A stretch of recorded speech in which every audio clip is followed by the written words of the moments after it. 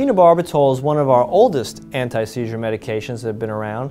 It's indicated for both seizure types, um, but the major problem with it is sedation, sleepiness. That's why the newer medications have a lot less sleepiness and side effects uh, and uh, weight gain issues.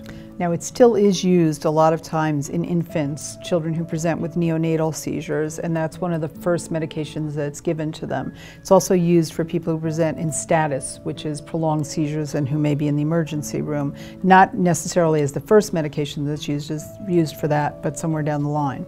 The problem is in the emergency room when you use it, it can really knock you out and put you to sleep.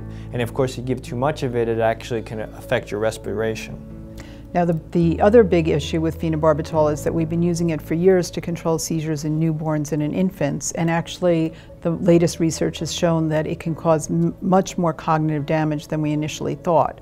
So we're trying not to use that as rapidly as we did in the past. We use some of the newer medications, and we try to get children off phenobarbital pretty quickly if they were using it. There were studies in the 80s showing that it could affect hyperactivity in young children, uh, as well as reading scores and attention scores. So again, this drug can have a lot of potential cerebral side effects. And that's why it's nice about some of the newer medications that are out there uh, that will, might have less cognitive effects. So it's important to discuss with the people taking care of you whether this is the right medication for you and what are the other choices.